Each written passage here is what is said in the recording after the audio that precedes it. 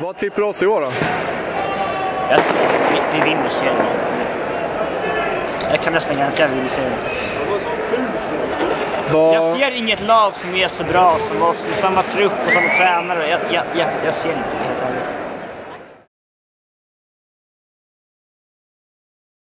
Men eh, jag står här. Du kommer se mig. Hej!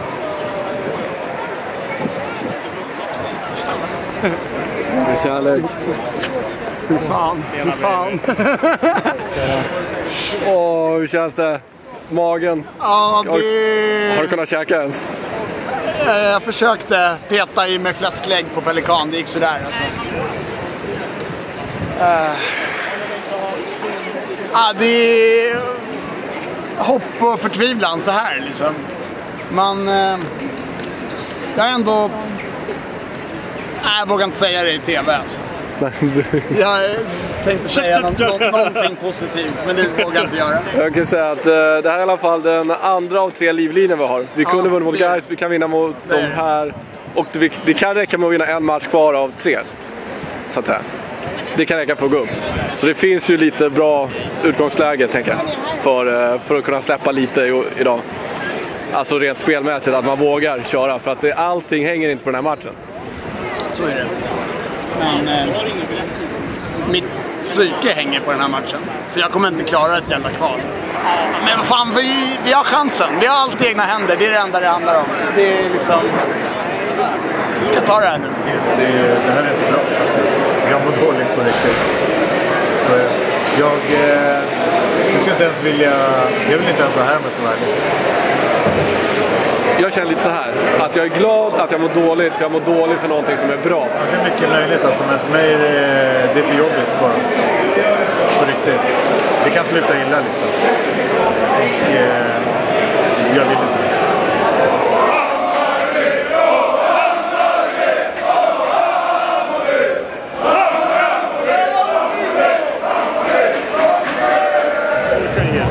ju bättre från start. Ja, jag tycker det känns... Linus har levererat. Det är dags för Pablo. Han är, han är, Fem första... Han har inte varit så bra när han har kommit in heller. Pablo. alltså, han behöver starta, tänker du? Ja, jag tror på det. Alltså han har ju en, en annan touch än vad Linus har just nu. Linus har inte riktigt känsligheten medan Pablo brukar, han kan toucha och bara dra direkt på en pass. Ja, men sen har inte Pablo varit lika bra nu som han var första matchen heller. Så att, så att visst. Men, men Linus har inte heller visat att han förtjänar första platsen. Pablo från start känns jättebra. Han har rutinen också i de här. Ja, det känns jättebra. Kanon. Det är en angenäm, ett angenämt problem liksom, Pablo eller han leder. Ja. Alltså det är verkligen så här, till skillnad mot så här, Tommy Trollkarl och eller Nathan Pauls. Det är så här. Eller vad säger du Kalle? Ja, Freddy, han är föredra. alltså. Fredrik Söderberg ja. Han levererar alltid.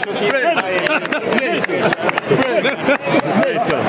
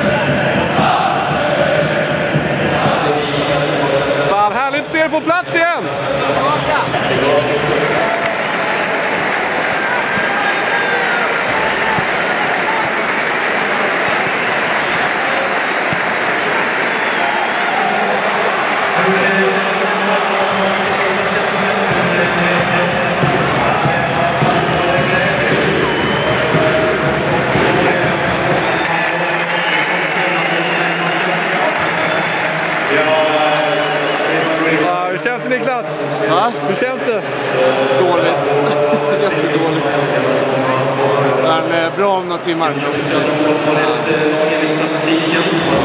In i mål ska det! Härligt. Vad är det för eh, matchtröja du har på dig? Den fick jag idag utav grabbarna. Stort alltså. Ja, Du, och det är du som får äran att leverera matchbollen. Matchbollen som kommer bli historiskt. Hoppas jag. Hur har du laddat upp idag? Ja, vi var här halv tolv och sen har vi varit runt och snackat lite med grabbarna. Gjort oss eh, ja, allmänt stirrig är man ju. Idag måste vi bara... Ja, vi kommer att göra det. Vi får ta det. Det gör vi. Bra.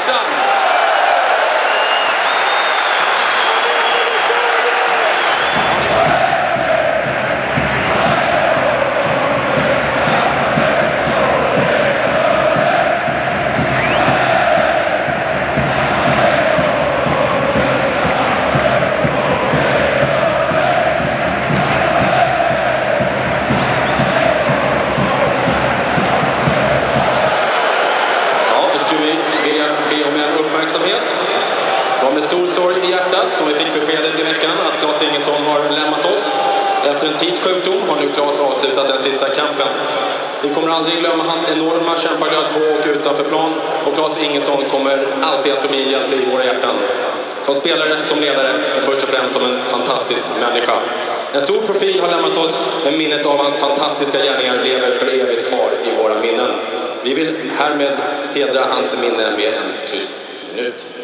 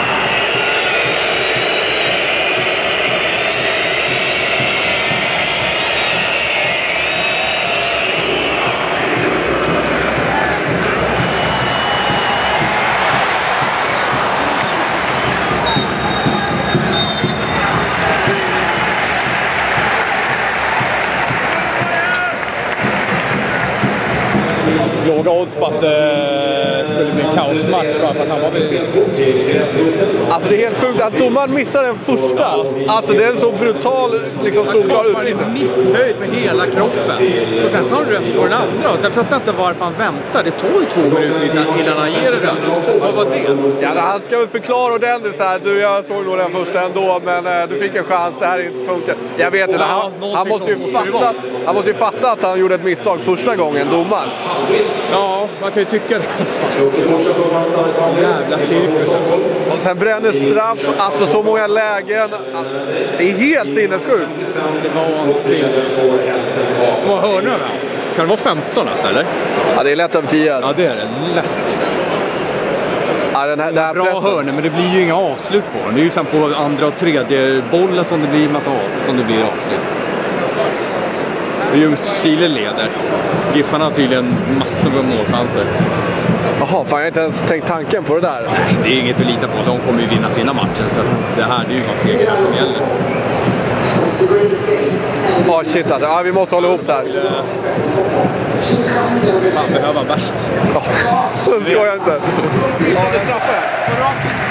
Det är inget lag i världen som någonsin har presterat det. Alltså inte ens i här lägsta divisionen. Vi har ju bättre snitt på eh, frisparkar inom en 10 meters radie från Känner straffområdet. känner jag bättre procent på frisparkar än straffar. Jag ska flytta ut den till 25 meter. Ja, de- de borde ha ett valfritt avstånd på mellan eh, 11 till eh, 25. Det är regeln. Antingen det eller ta bort straffar. Då är det mål direkt.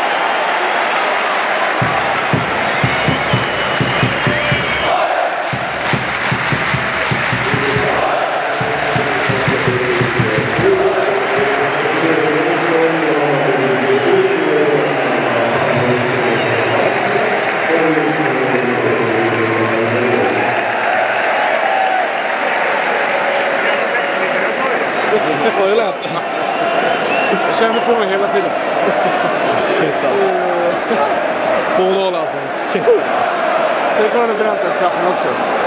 Det spelar ingen roll, vi hade vunnit ändå. Men det är äkta att han tar den. Tar den andra. Det är för lätt med, det är för lätt med straffar. Det har jag sagt.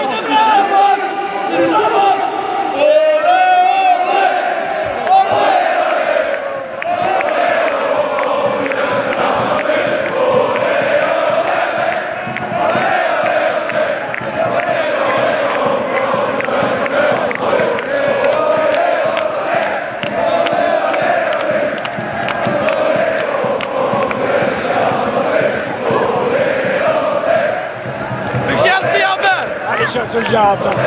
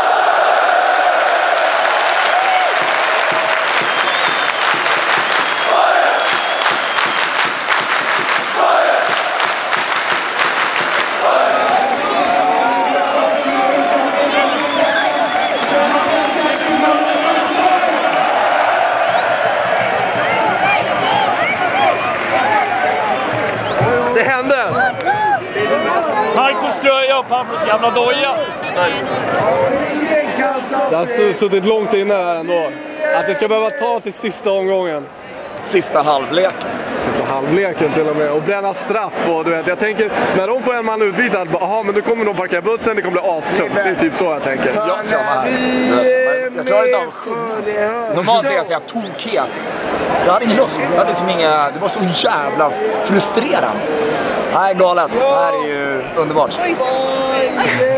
Härligt. Ja, det är fler som kommer fira idag tror jag. Volleybollspel. Riktigt jävla sant. Söderadress.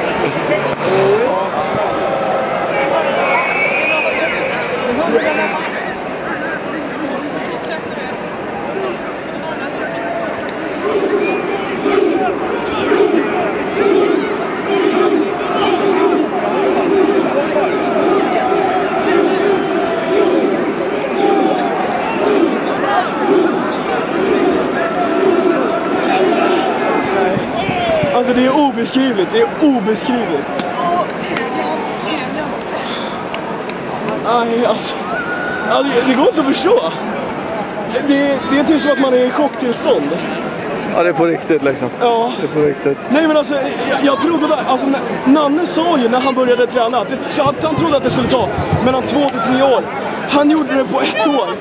Och det är så, det är så fantastiskt underbart gjort utav honom. Och,